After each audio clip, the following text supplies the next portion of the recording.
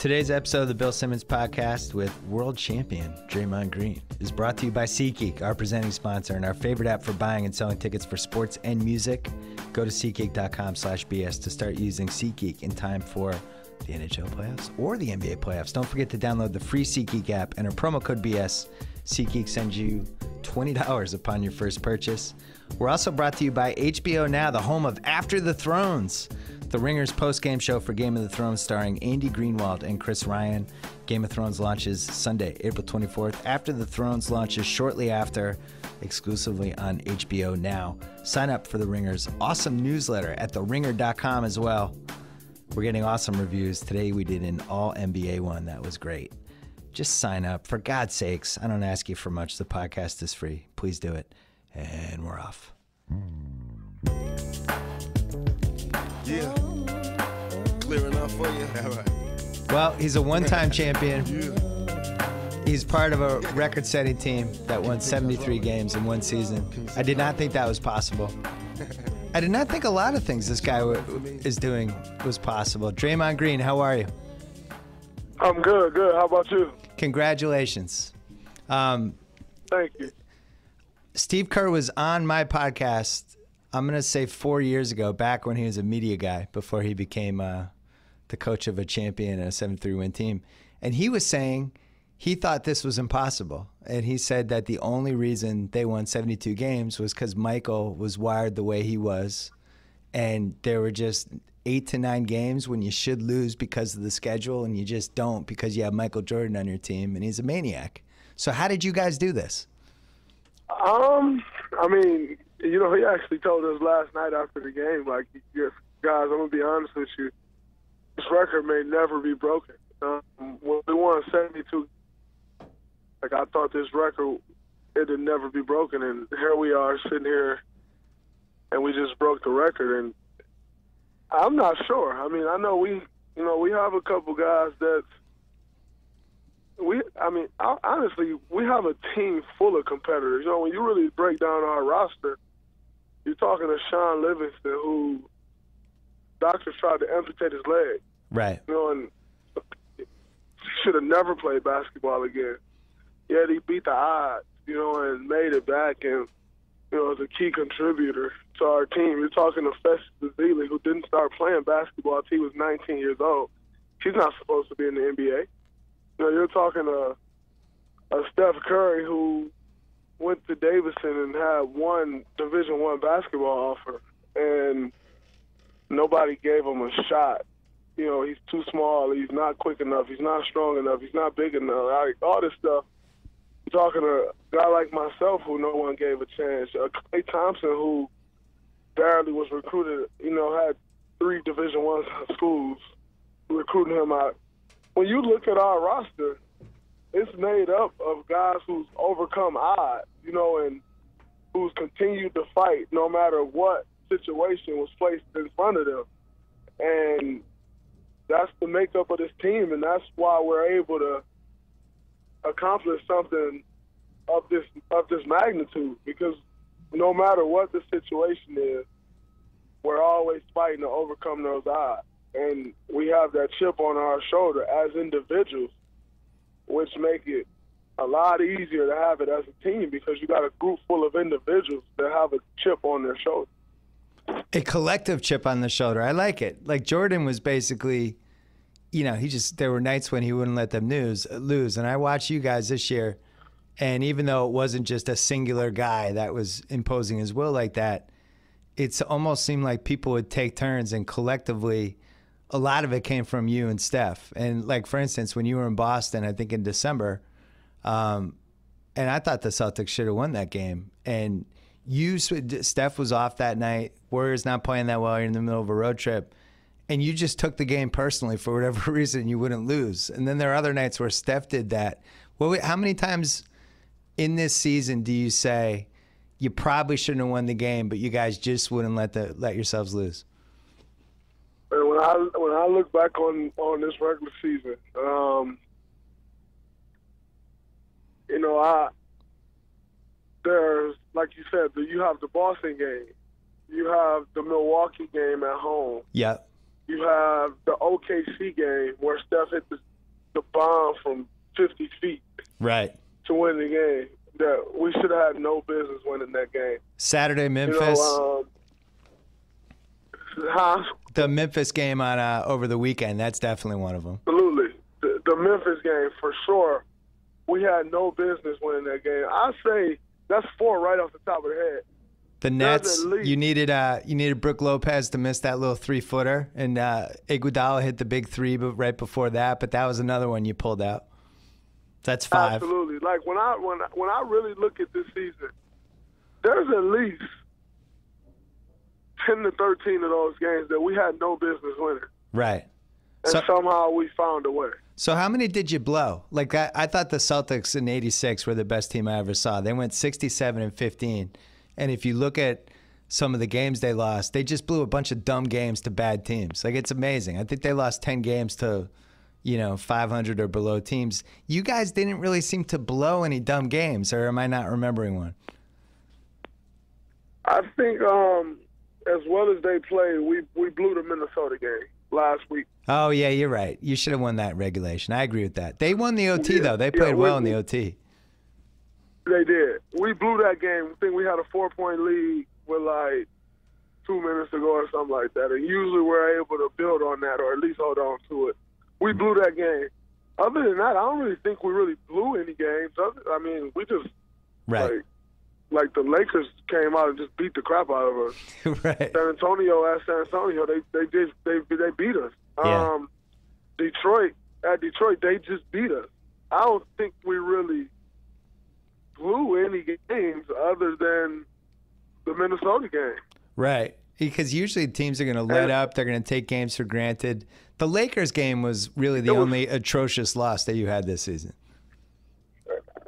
Yeah, it was it was such a weird feeling too because I'm I'm so used to us winning those games. Yeah. It's like four point lead. When I look up and I'm like, oh, we got to lead. Like, oh, that's that's like clockwork. That's game. Right. And when we lost that game, I couldn't believe it. Like, wow, we never lose games like that. You know, So Um, I would, we blew that one for sure.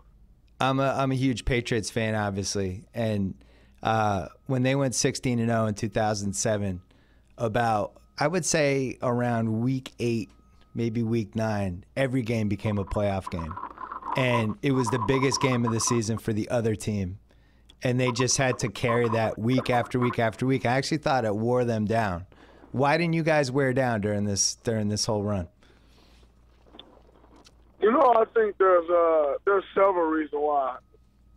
Number one, like like you spoke at the beginning, every night it's not just Steph carrying the load. You Yep. know, every night it's not just you know Draymond had a good game and took over this game, or all of a sudden it's Klay caught fire. Like it's it's something it's someone different every night. Like you, I can look at most of our, our games this year, and I can honestly say there's at least twelve of our guys that won us that game, Yep. and there's not there's not many teams that can say that. You know, when you look at your roster and say, all right, Marreese Speights won us that game. You know, you look at it and say, Brandon Rush won us that game. Not many teams can say that. Yeah. You know, you look at it, usually it's like, all right, maybe four guys won us a game this year. But most of the times it was one or two guys. Our team, some, just about everybody won us a game this year. right. And that's, I think that's a huge part of the reason that we don't wear down because everything we do, we do it collectively. And the and they managed the minutes pretty nice with you. I saw some. I was reading something this week about how many times Jordan played 40 minutes or more during that 95-96 season. I think Steph only did it four times. I thought that was really smart. Just in general, it seems like teams think about the schedule in a in a much more intelligent way. But at the same time, like you had a brutal road trip, you know, during that streak, and I thought for sure you're gonna blow one of those games in the streak. When did you guys? When did 25? Well, you didn't know you were gonna 25 and 0, but when did that undefeated streak really? When did you really start thinking about it? You know, I think after when when we um, I think the Clippers was like game 11 or 12 or something like that. Yeah. 13 maybe. I went to that game. And yeah, that was a good one. Yeah, that was a good one. And when we came, yeah, when we came back and won that game, I think we were down 24 in the first quarter or second quarter, or something like that. Yeah. And when we came back and won that game, it was like, okay, let's see how long we can ride this streak out. And then, uh, then you know, once you win a game like that, now everybody's looking like, well, that was the game they were supposed to lose. So you, you st- all the numbers start coming out of best start in NBA history, best start in major sport, you know, out of four major sport history. You know, you you start seeing all that stuff, and then you start to try to go for it. Yeah. You know, so I'd say after that Clipper game was when we really looked at the streak and said, "Wow, all right, well, let's see how long we can ride this out." And also, it probably helped that you guys win the title, and then everyone spends the whole summer and off season shitting on the fact that everybody was you played was injured, and here comes San Antonio has LaMarcus Aldridge, and Cleveland's going to be better, and it was like you had no chance to go back to back. I'm that must have been motivating. One hundred percent. You know, and um, we're already a, a pretty self motivated group anyway. Yeah. You know, but um, when you're every day, you look up and there's someone else saying this or someone else saying that. So they didn't play such such. They didn't play this person. It's like, really? right. Okay. You know, so that allows you, you know, to where when you're coming back from a from a championship season, the one thing a lot of former champions told me was that it's so hard to start the regular season again because the last time you played together, the last time you were on the court together, you were in game six or whatever game it was that you ended the final. We were for us it was game six. You were in game six of the NBA final. How do you come back in the regular season three months later and try to match that intensity level? You can't. Yeah. It like it, it doesn't it doesn't live up to what you what you just left. And so a lot of guys told me that that was the tough part. Well, when you just finished game six of the finals and everybody's saying, "Oh, that that championship is lucky," you know that they didn't play such such, they didn't do this, they're not really that good, da da da.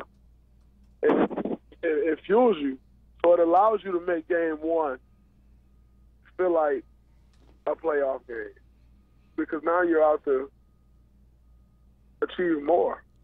So the best thing that happened to you guys was San Antonio signing LaMarcus Aldridge, because then everyone just like, oh, San Antonio, oh my God, they did it again, and and then nobody's talking about you. That was a good thing, I think. I think that was, I think that was good for us because Yeah. um, number one, we came into the season like not the favorite anymore. Um, they kind of, they kind of took pressure off us in a Yeah. way. I would agree. You also didn't, you know, Pat Riley. I was I wrote about this whole. I have a whole chapter about this in my basketball book about Pat Riley called it the disease of me, where you win something good happens with a basketball team. You win the title. Everybody sacrifices to win that title, but then you win it, and then mm-hmm. everybody's like, "Okay, man, all right, I'm ready for more minutes. I'm ready to get paid more. I want more shots. And you just want more, more, more." But that didn't happen with you guys at all. So why? Well, I think when you look at you know stuff like that, I think that's usually based on who your stars are, Yeah. who's your core, you know, who's your core group of guys. And when you look at that for us, Steph is one of the most humble human beings you're ever going to meet. You know, Klay, he's humble. He doesn't care about anything but winning. like now, Klay cares about his shots, but Right. it doesn't matter that he cares about his shots because that's what he do for us. Like Yeah. so, he don't have to come out like, "Ah, I need to get more shots." No, you're going to get them anyway because that's what we need you to do. Right. You know, um, uh, Harrison, who was in a contract year, you know, who couldn't reach an, you know, an agreement on an extension, who can come out and say, oh, "I need to do this, I need to do that." it's not his personality. Like he's not that type of guy. You know, um, and Andre Iguodala, who's coming off a Finals MVP, isn't coming back in saying, "Oh, I need to start now." Like, yeah, he's comfortable with what he brings to this team, and so you know, myself taking less money so we can continue to build. You know, so we can make sure this thing stay together. That's the type of guys that you have, and so I think that's also a credit to our front office, to the type of guys that they built this team on. You know, that they put in place. You know, everybody's okay with their role, and we're not trying to come out and say, "Hey, I need, I need this, I need that, I need to do more of this, more of that." Because one thing we all know is that if you win, all the other stuff will take care of itself. Right. You know, the things that guys worry about trying to go chase and end up losing it because of it, they don't get because they don't win. But if you win, all that stuff take care of itself anyway. Let me ask you about Steph, because you know Steph and David Lee were on my podcast a million years ago, and Steph is a very unassuming guy. You know, you would you would never. Mm-hmm. I thought he was, you know, one of the best shooters I've ever seen. I thought he was going to be a very good pro. I never expected this to happen. But when you meet him, as you said, very humble, unassuming guy, and yet over the last two years, especially this year, got a little bit of an fu edge to him. A little bit of it's almost like you injected a little bit of your DNA into him. Um, was that? How much of that is you, and how much is that just him being like, you know what, I'm just great at this, and I can't help myself. Um, well, you know, a part of that is a, a part of that is him. You know, he's just grown into himself. You know, with me being the the vocal leader on this team, I think you know when when you put yourself in the leader category, if you can't impose some of your personality some of your personality on guys, Yeah. you know, then then what type of leader are you? You know, if if you can't put some of you in someone else, Yeah. because at the end of the day, leading someone is taking them in the direction that you're going, taking them in the direction that you want to go, so you have to be able to impose some of yourself on someone that you're leading. You know, if you're running a company, it's hard. you see a lot of CEOs or, you know, someone who's managing a company get upset with people that's working with them because they feel like they're not following their lead. They feel like they don't have that same work ethic. They feel like, you know, what they're trying to accomplish, this person isn't helping. And they're not picking up on what they're trying to show them. And so, you know, it's, I think, you know, he probably fed off of, you know, the way I am a little bit, but at the same time, you're not that great just feeding off someone. Yeah. Like he's he's great, you know, and maybe it you know, maybe it took someone like myself being around him every day for him to just go with it and run with it. Right. But I can't necessarily take credit for what he's grown into because that also comes with all the hard work that he puts in. You know, he's Yeah. so confident in everything that he does simply because of the work that he put in. And so, no, I think it all goes hand in hand for sure.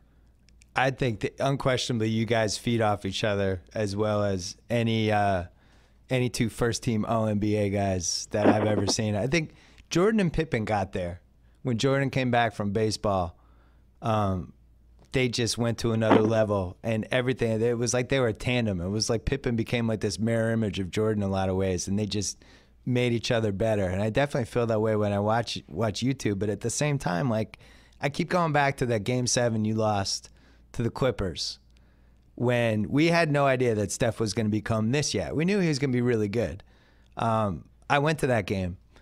Chris Paul beat the shit out of him for four quarters. He committed 120 fouls on him in that game. And Steph kept coming back and fighting and trying to get his shot and just fending for whatever reason. They just work hard fouls at all in that game. and I thought that was the most important game of, of his career for what kind of ensued. Am I right or am I wrong? No, no, I think I think you're definitely right.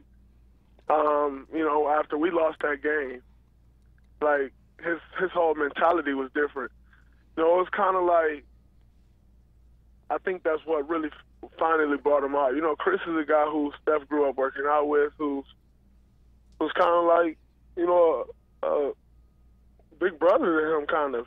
And I think at that point, you know, it's kind of like that point where you get tired of, you know, your older brother, and you're going to go do something about it. Right. And I think that game right there, that series, was like that point of where it was like, okay, now I'm gonna show you what who I really am. Now I'm gonna show you what I'm made of. And from that point on, he's taking he's like Steph's taking the league over Yeah.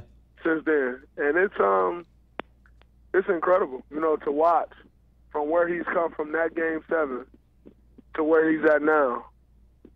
It's it's amazing, and I think that I think that definitely had a part to had a role in played a role in where he's at now for sure, one hundred percent. And he's that type of competitor. You know, he's. Yeah, I think that was failure for him. No, some people with failure they they fold, and some people with failure they use it to fuel them. And I think it fueled him. What did you take away from that game? Because you you also made a big leap the following season too. That game right there showed me I really belong. You know, not only that game, that series, but really that game seven showed me that you know I think we all have a you know we all reach a point where it's like okay, you know you you understand I can do this like, and when I left game seven of that series, I told my boys I said they done messed up. So they didn't show they didn't let me figure out that I can do the same thing I've done at every level level at this level.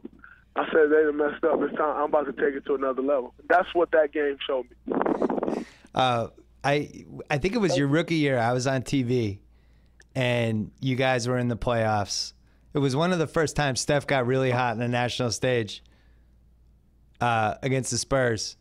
And I was talking about how uh, the Warriors, nobody else could shoot threes on the Warriors. And I, I said something about how you couldn't shoot threes. And you got mad. You tweeted at me at, about it. And I remember thinking, like, I like this guy. This guy took it, like, you were shooting like 28% when I said you couldn't shoot threes, but you took it personally. I was like, I'm going to keep an eye on this guy. I like this guy. Do you remember that? I do remember that. I'll tell you exactly what. It was. First off, I was shooting 28% from the field. I was shooting like 17% from three. Okay. First off, so that's the first part. Uh, the second part, I remember you tweeted. Um, you said something about no one else can shoot threes, and then you said, "Does Draymond Green not realize he can shoot? He's open for a reason." oh, I remember that. Okay. Yeah, that was good. And I said, "Oh, okay." So I so I tweeted back, yeah. and and and I said, "All right, I'm gonna show him and everybody else I can shoot." And you know, stuff like that has always fueled me.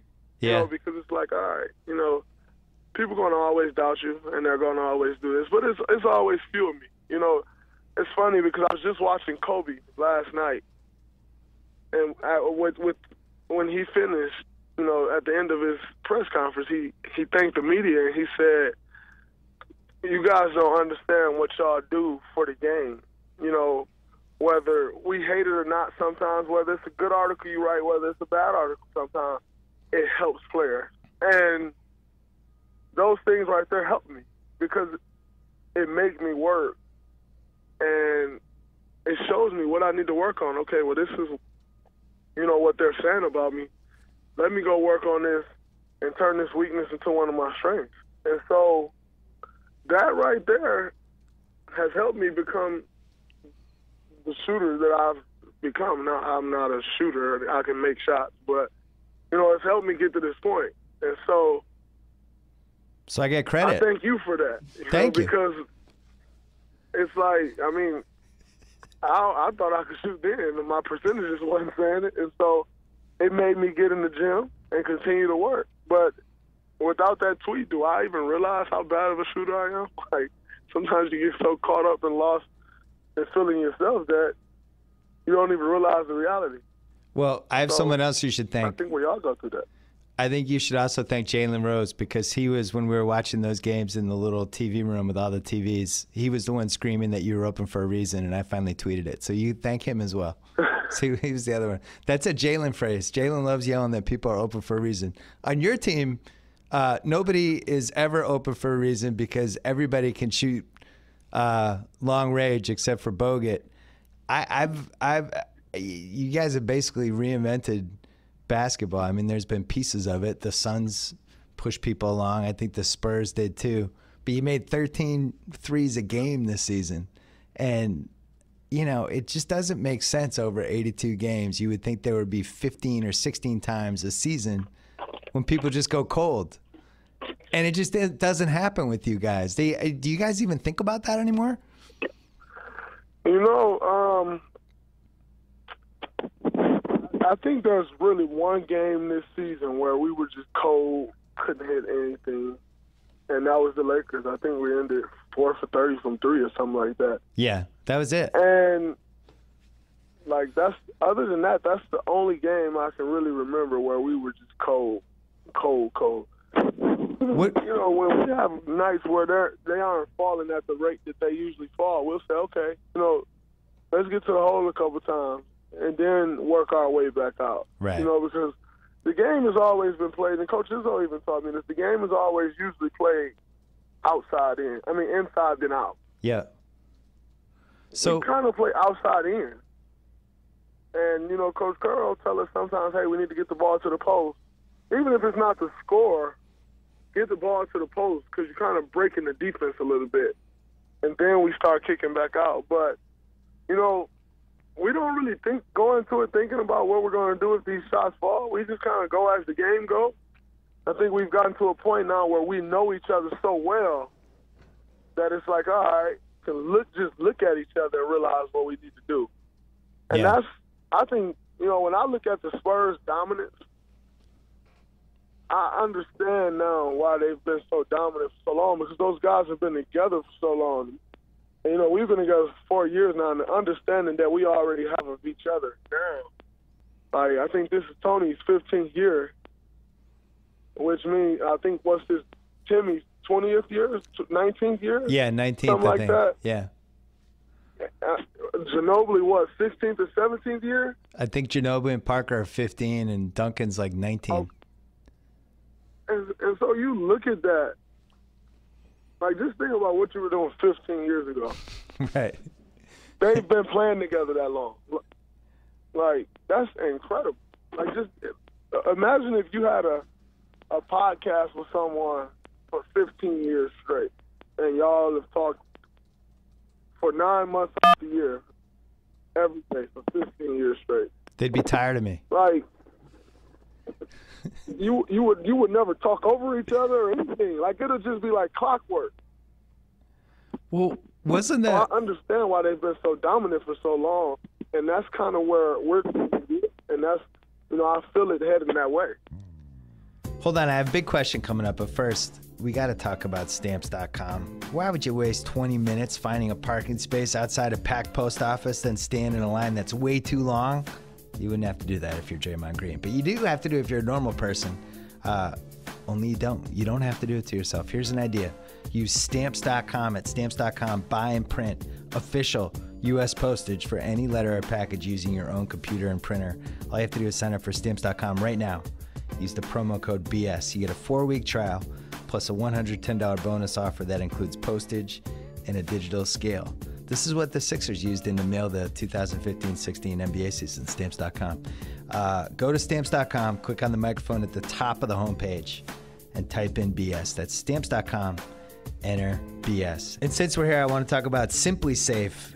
Here's the thing studies show that security systems deter burglars. This is a good thing. You want to deter burglars. So if you if you already have a security system, that's great. But if you don't, well, think about it. If you're a burglar, where are you going to look? You're going to look for the place that doesn't have the security system. Let me recommend a brilliant security system that my buddies at SimpliSafe built. It's ridiculously smart. Its sensors will protect every point of access to your home. It's really almost the, the Draymond Green of, of home defense. It's ridiculously smart. Its sensors will protect every point of access. And if a burglar so much as tries to break in, an ear shattering siren will let him know or her know. But it doesn't, burglars can be a, a male, a female, you just don't know. But, but they're bad. They're bad for your house. And that ear shattering siren will let you know, let them know that police are already on the way. Best of all, SimpliSafe's 24 7 monitoring is just $14.99 a month. They'll never lock you into a long term contract. You even get a 60 day money back guarantee. There's no reason not to try it. Go with the only home security system I trust, SimpliSafe, by going to simplysafebill.com. Go there right now. You save an extra 10%, simplysafebill.com. And now, the big question. Well, I mean, the biggest thing that happened for you guys was that there was so much talk about the Klay Thompson, Klay Thompson and Kevin Love and that whole is it going to happen? Is it not going to happen? And no, but I didn't know what was true, what was not true. I was thinking as I was watching it unfold, of course they should trade Klay Thompson for Kevin Love. Kevin Love is one of the 10 best players in the league. And yet, if you make that trade, none of this happens. And as you're watching that just from afar, are you praying that trade doesn't happen? Not only is it bad for the team, but it would have been bad for you. You lose minutes. You know, I, I didn't want that trade to happen at all. I thought it was crazy that we were thinking about it. I mean, I'm gonna be wrong. Like Kevin Love's a good player, a really good player. But I just didn't think like, like when you have a backcourt like Klay and Steph, you don't you don't break that up in in the third going into the third year of one of those guys' career. Like that's just something that you you just don't do. Right. And so I didn't want it to happen for that reason. You know, I knew that we were already trending to head into the right direction. And to be honest with you, there's a possibility that I would have just been a throw-in in that trade. So who even knows where my career goes from there? You know, like sometimes it works out for a throw-in, sometimes you don't get a shot. Right. You know, when you look at a Shannon Brown, for instance, a guy who's closer to me, Michigan State, he was a throw in in the Lakers deal. All of, two championship later, ten years later in the career, it worked out. But it don't work out for everyone that's a throw in. Like, and so it's it's a slippery slope. And who like I know this would have never happened where we're at now, obviously, but like for myself, I don't know where I would be. Like I'll tell you, I'll be out the league. High possibility because when you're throwing, you sometimes just don't get a chance. I don't think you'd be out of the league, but I don't think you would have had as fun of a time in Minnesota the last couple years. I'm positive of that one. I think both on and off I, the I'm court, it would have been a it would have been a loss. Yeah, on and off the court, I think you lose both ways on that one. By the way, that's one of the things I've enjoyed about you. I've watched a ton of Warriors games this season, partly because uh, you guys are just so much fun to watch, but also I'm on the West Coast, and you know my choices were you guys, Sacramento, or the Lakers, or the Clippers, so I can't watch anymore. So uh, I was usually gravitating you, but it seems like I, this is a theory. I might be wrong. I'm guessing. It seems like you know who's at the game and you know what celebrities are around and you kind of establish a little back and forth with them, even if it's just eye contact. Like if Jay Z's at the game and he's in the front row, you know this. Am I correct? Absolutely. You know, growing up in Saginaw, I was always taught to always be aware of your surroundings. Always know who you have around you. And so that's something that I always pay attention to. You know, I'm I even in co- when I was in college, you know, like you go to these visiting arenas and like your coaches coaches will never say anything to me about it, but it's like an unwritten rule. You don't, you know, you don't talk to the other people's fans. You don't look in the crowd. Like that's kind of an unwritten rule in sports, really, um, but definitely basketball. Um, and I've never really followed that rule. Like I go up to to other teams' crowd and talk to their student sections and talk junk to them, and they'll talk junk and tell me I was I sucked, and I go up to them and tell them like you just made it bad for the person guarding me today. and so, you know, that's kind of where I was at in college, and then you get to the league and like you see a Jay Z sitting in the front row, or Beyonce, or you know Floyd Mayweather, you know, and it's just like wow, like, all right, here we go. So. I, it, I, I just I always talking back and forth. You know, when we're playing the Clippers, uh, I've actually started to build a relationship with Anthony Anderson. and, Yeah.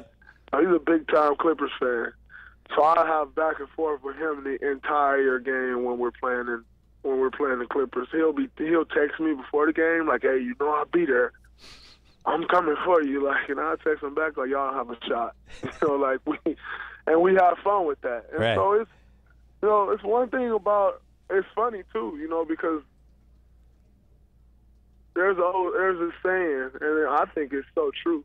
All rappers want to play basketball, and like all basketball players want to rap, Yeah. and so it's kind of just you know mess with mess with those relationships a little bit, you know, while you're on the course. So I always know who's around all the time. Well, you guys, uh, this season, you became the hottest ticket in 20 years. I mean, I was there for the the entire MJ Bull run in the in the mid 90s, and we had Celtics season tickets. And when they came in, it was it was important, especially if your team sucked. Like this was the the two times a year, some unbelievable team would come in, and we got to watch real basketball. And there were so many fans of the of the Bulls that would be there, and there was just kind of electricity in the crowd.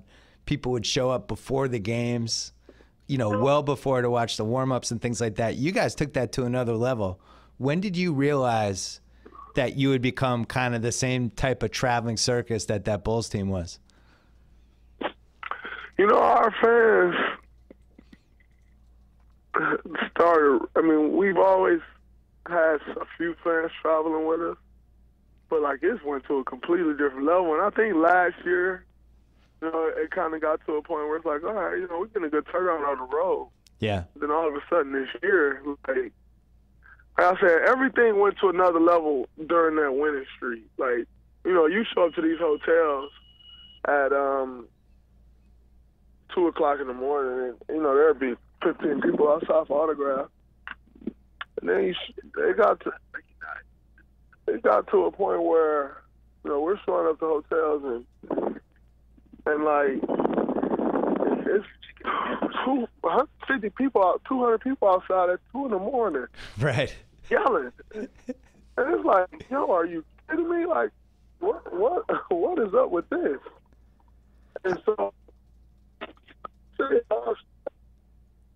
everything went to another level during the winning streak. I'd say probably halfway through it, because then it became not only is our fans traveling with us, but everybody want to see when we're gonna lose that first game.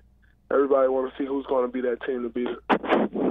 Right. It just became a zoo. Not to mention Steph's celebrity wit has gone to a completely different level, and that's made a huge difference as well. Yeah, he- as we talked before, Steph is the one of the most humble superstars we ever had. It is weird, like he's so popular now. I just I don't understand. It's gonna be so hard for him to to kind of maintain that that humility. But I guess that's why he has people like you in his life, right? You still bust his balls? All the time. Okay, good. Good. All the time.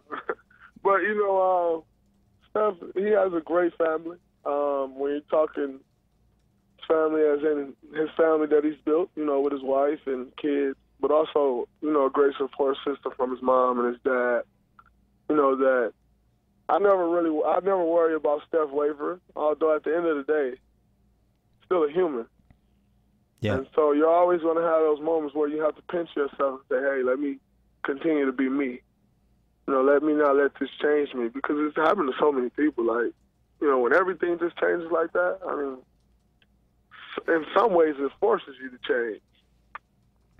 You But I think he'll always stay as closest to who he's always been as possible. And like I said, he's going to change. You know, you have to change some. Like that just comes with it. But he'll always be true to who he is as a person, I'm and sure that's what's most important. I'm sure things have changed for you. Um, one thing I was thinking though was you're you're Michigan State. You were there four years. You had a lot of success, and that means that you know you got some Magic Johnson time. I'm sure maybe there was a Magic Johnson text or two, maybe a hug and all that stuff. But but now Now you're a successful NBA Michigan State graduate, which pushes you to a whole never, another level on the Magic Johnson scale. Um, how much in your life is Magic Johnson? You know, it's always it's always great to have a relationship with a guy like Magic. You know, who's been through so much, um, basketball wise and celebrity wise, life wise, um, and now business wise. That you know, he's someone that you can you can always call for pretty much anything because he's been through so much that he can almost give you advice on anything you're going through. And that's pretty incredible, you know, because not many people can say they have that. And so it's it's a blessing, you know, to be able to call on a guy like that. You know, that's why um That's isn't that one of the best? That, need to make sure they go to Michigan State. Yeah, I was gonna say that's one of the best Michigan State perks. They should put that in like the brochure and stuff. If you do well on the basketball It team, is. you get to have Magic Johnson in your life. He'll give you advice on things. is, de- it's definitely a great perk, that's for sure. Hey, the biggest rap Not on many people can say that they got Magic Johnson in their life. the biggest rap on you in college. You had two. Well, you went way too late in the draft. It was stupid when it was happening. I thought you were gonna go in the uh, last half of the first round, but people said you're an inch and a half too short, and they said you weren't in good enough shape. Why weren't you in good enough shape in college? You know, I think um, coming out of high school, I was in terrible shape. And when I got to college, I got in better shape. And, but better was, you know, I was so far behind. I was so far behind that I thought I was in good shape until I got to the NBA and I realized what good shape really was. And Yeah. so, you know, it was never, oh, you're not working, you know, but it's kind of like the old saying, if you knew better, you do better. I think when I, when I knew better, I started to do better. But from where I came from high school to where I was at in college, you saw me in high school, you'd be like, wow, you were in good shape in college Yeah, but it just doesn't compare to where I am now. And you know, you start to learn more. You know, I was it was funny. I think it was after my sophomore season. I ran up in Coach office, and, I, and you know, people would laugh at me for this. I was so excited, like so excited. I went in Coach Izzo's office. I had did some cardio that morning, and I went in Coach Izzo's office. I said, "Coach, Coach, you'll never believe what happened to me today." He was like, "What? What happened?" He excited. I said, "Coach, I, I caught a second win." And he was like, "What?" I said, "Coach, I caught a second win. Like I was doing my cardio and I got super tired, and I just pushed through it, and all of a sudden I wasn't tired no more." He just started laughing at me, but I I never knew I had a second win because I never pushed myself that far. Like, and I, so it was just one like I never had an idea that if I just continued to go, that I'd catch a second win. and there I you go. never knew it. And so that, that was just one of those things where it's like, all right, I figured that out. And I started to use that. Once I got to the NBA, so you realize how how good a shape you have to be in. Number one, I think one of the things that really forced me to get in shape, in better shape in the NBA too, is because the schedule's so long that I dealt with bad knee tendonitis my rookie year and I didn't want to go through that again. So it showed me that I wasn't in good enough shape to where I thought I was in good enough shape. When uh, when did you realize you could guard pretty much anyone over six foot four? Um, you know, my rookie year, you know, it was um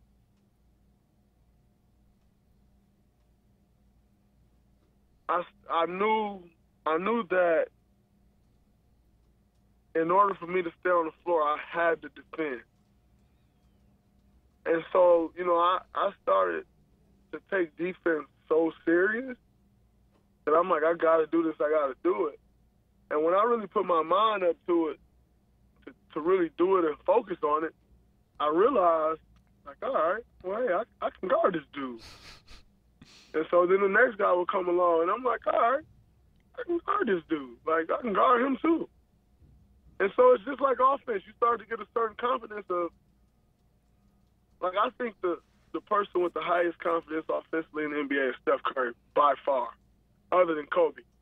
Now, Steph Curry, like he can miss ten shots in a row, and he may he may shoot the next three from thirty five plus feet. Like that confidence, that confidence is that confidence is that confidence is hard to hard to come by. Right. And like that's kind of where my confidence is defensively. Like I think I can stop anyone. But that was kind of it started my rookie year where when I started to take defense so seriously because I knew it was something that I had to do in order to make it. That it was like, okay, I can guard him. I can guard him. I can guard him. All right. Well, I kind of got that confidence of where I can guard anyone. Um, I know you have to go, and I left some stuff on the table for the next podcast that we do, which will be at some point in the playoffs because I'm I'm forcing you to come back because I enjoyed this. But I'll be back for sure. I wanted to mention one thing. I just want you to think about this as you head in the playoffs. I'm a diehard Patriot fan. We went 16 and 0 in the regular season. It was incredible. We lost the Super Bowl. Guess what? Guess how many times I've I've talked to my buddies about the time that my football team went 16 and 0. Zero. So you got to win the title Zero. now. You just have to. You have to finish it. Those are the stakes. Absolutely. That's it. You guys have a chance. You have the chance to be immortal. This is it. It's all sitting there. You need 16 wins. Immortality. No doubt about it. And you know that's that's the plan. You know, uh, come out here and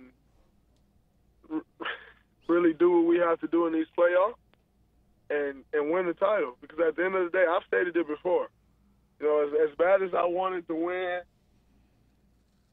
uh, the 73 game, it means absolutely nothing if you don't win the NBA title. You know, I told them uh, the other night. I said they were, we were talking about it uh, in the media, and I said, uh, no, matter of fact, it was a couple days ago after practice, and they were asking me about it after we won 72, and I said, well, you know, when you, when you go to Chicago and you look up and see them banners, there's no banner with just like 72 and 72 and 10 all by itself. Right.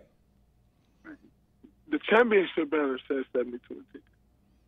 I'm pretty sure if they didn't win the championship, you wouldn't see 72 and 10 in their gym. So we got to finish the deal. Well, if you need motivation, I can mail you my 16 and 0 Patriots T-shirt that I have from 2007. If you guys want to hang that in the locker room, I'm happy to do that. You guys can stare at it. You know what? I think as much junk as I talk, that's enough motivation for me. Yeah. When we don't, I'll never hear the end of it. I listen. I've had some great wins as a Boston fan and some bad losses. When they lost that Giants game to go 18 and one, that was way way up there, and I still haven't gotten over it. So yeah, you got to finish it. You have a great team. It's a once in a lifetime team. Uh, good luck. Please come back uh, later in the playoffs and come talk to us again. Thanks a lot. I appreciate you having me, and I'll be back for sure. All right, take care. Thanks so much to Draymond Green and thanks to stamps.com. Remember, sign up for stamps.com. Use my promo code BS and you get a special offer that includes a four week trial and a $110 bonus offer that includes postage and a digital scale. Click on the microphone at the top of the homepage, type in BS, stamps.com. And also thanks to SimpliSafe. Remember, security systems deter burglars. You want to deter burglars. Try SimpliSafe. Their 24 7 monitoring is just $14.99 a month. They'll never lock you into a long term contract. You even get a 60 day money back guarantee. Go with the only home security I trust, SimpliSafe. Go to simplysafebill.com to save an extra 10%. Thanks to HBO Now, the home of the After the Thrones video podcast coming the night of April 24th. Just a just a stone's throw after the Game of Thrones premiere on HBO. And thanks to theringer.com. Check out our newsletter, sign up for it at theringer.com. Follow us at Twitter at the Ringer. No, at Ringer. I can't even remember my own Twitter. It's at Ringer. Follow us at Ringer. Snapchat at Ringer. Facebook. What is it? What's the Facebook Tate? Yeah, facebook.com slash ringer. All this stuff's really easy to remember. And uh, I have a special surprise for you coming back tomorrow with one more podcast. We're going to do a little playoff NBA preview with our old friend Haralabob Voulgaris. He has some opinions. I look forward to hearing them. See you tomorrow. Anytime y'all want to see me again, rewind this track right here, close your eyes, and picture me rolling.